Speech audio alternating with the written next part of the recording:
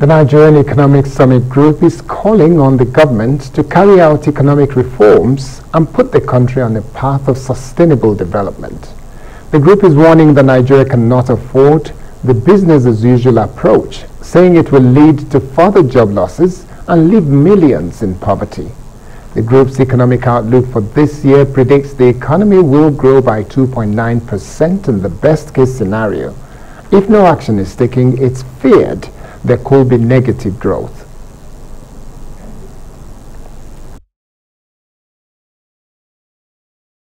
Well, for more on this, we're joined by Laoye Jaiyeola, the CEO of the Nigerian Economic Summit Group. Thank you so much uh, for joining us on Newsnight. Thank Good you to see you again. Uh, well, let's begin very quickly with your call on the federal government to come up with tough and bold uh, economic policies, uh, you know, to pull Nigeria out of the current uh, economic situation it finds itself. Exactly what are those policies that you have in mind? Well, well, let me be very clear. There isn't anything that we've said in our report that is altogether very new. Because if you look at Nigeria, look at where we are, when you look at our external reserve, when you look at foreign direct investment flow, we've been we've plateaued around the same areas in the last eight years. And we've been saying the same thing. Look, the government of Nigeria does not have enough resources to pull us out. We didn't have it before COVID, and COVID, all COVID did was just exacerbated the, the, problems. And so there is a need for us to put our house in order to drive investment. The first thing is that, look, there are sufficient money out there that are doing negative yield, that are going to other areas that are not coming to us in Nigeria. And, you know, we, we, we call the no, Nigerians big giant. Yeah, Africa's big giant. But you know, you must be giant enough to attract things. I listened to you in the afternoon.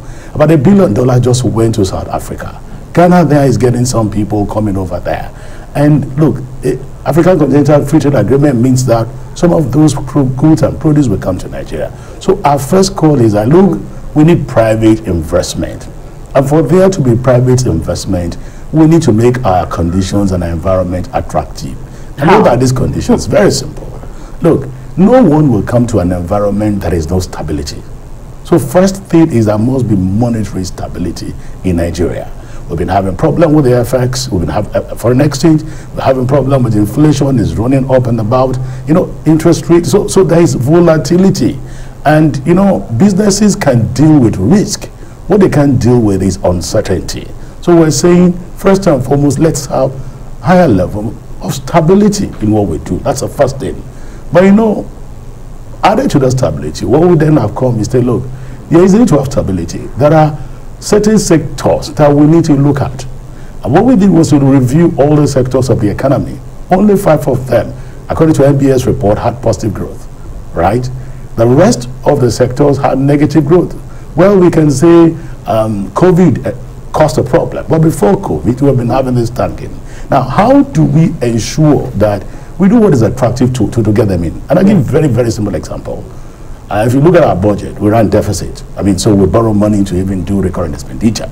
Now, of course, you will say government should close the door and not pay salary. So, I mean, they just have to pay salary. Either we ask those people to go or they pay salary. But in terms of a pandemic, when things are bad, they just can't ask them to just go out. You need to care for your citizenry. Now, what do you need to do first and foremost around that area the simplest, the, the, most simple thing that we're calling government to do, and you recall my chairman did make this, that look, a PIB bill should not just be a bill that we're doing to tick a number. If you do a PIB bill, that's an I mean, petroleum industry, industry bill, bill, that does not drive investment into Nigeria, it's a failure. If you do it right, six, mm. seven billion dollars can come in, come in and they cover the gaps. And there's some analysis that have been done all around that shows that even smaller in the summer countries like Guyana and Co, they don't even have the kind of reserve we have, are attracting investment. And we have, a, we have one of the largest reserve for now. And knowing that we're moving away from fossil fuel, it's something that there's urgency to do it. So there okay. are sectors and so I, I, was just wondering that a lot of people who are analysts and who are economists, they're saying that our biggest problem could be lying in fiscal policy or non-existent of it. Mm. And some of them said, yes, we do have the policies, but they're just not being implemented. Or there's no convergence between fiscal and monetary policy. Well, I do. That's, that's, that's the first thing we talk about stability. that's to be some coordination between the monetary policy and the fiscal policy. And we need to have regulatory consistency and policy consistency. Sometimes, you know, I mean, again, I say this, we have regulators. I mean, it's good to have regulators. But the challenge I ask myself it is, are they enablers of business or they are doorkeepers? I mean, you sit there and you find out that, you know, I mean, I, I was talking to the people in oil sector. And when they told me, I mean, I, I looked at the number of other taxes they pay, apart from what they pay through your royalties. You ask yourself, Nigeria then becomes not attractive for businesses to come. And despite the fact that uh, uh, uh there is a lot, the cost of doing business because of security in our area is excessively high. You then pay taxes that you don't even have a limit of it. Now, if these taxes actually come into government's coffer, then our tax to GDP ratio will be a lot better. Government will have more resources.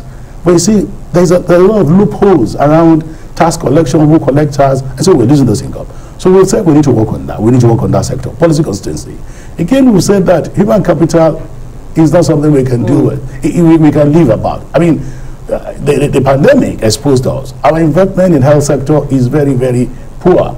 I mean, it was predicted that, I mean, we have 80 million people the World Bank had said that last year they said we were going to have about 8 million people, but then because of pandemic, more people went into into poverty.